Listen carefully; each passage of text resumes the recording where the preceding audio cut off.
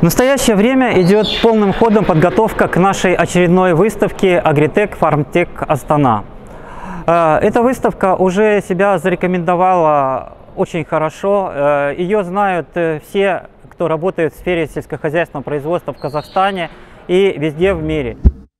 Геннадий Дякин, генеральный директор ТО TNT Экспо.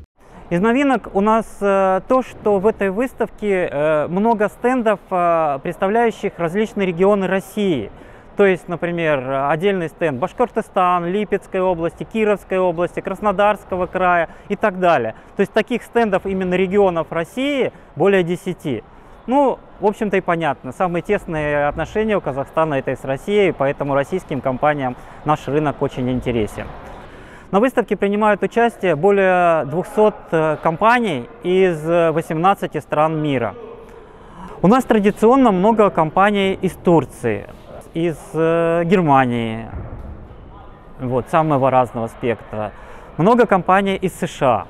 На выставке представлено все, что нужно для сельского хозяйства. Это и для земледелия, и для животноводства. Сельхозтоваропроизводители, то есть ну, фермеры, как мы говорим, они имеют возможность ознакомиться с, со всем спектром, все, что им предлагается для их э, деятельности.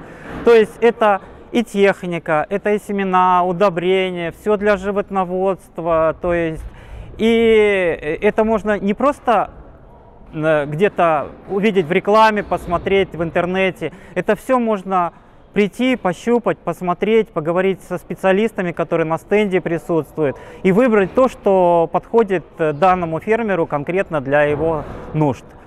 То есть, соответственно, выставка дает им больше выбор и, и выбор более надежный в выборе того, что им нужно для их деятельности.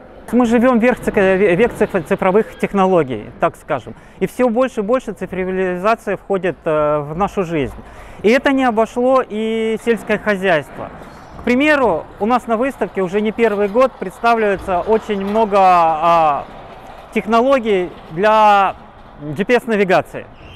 То есть, казалось бы, какое это имеет отношение к сельскому хозяйству? А очень большое. То есть все современные тракторы, комбайны обеспечены навигаторами, которые наиболее обеспечивают наиболее точный маршрут для посадки, уборки и так далее.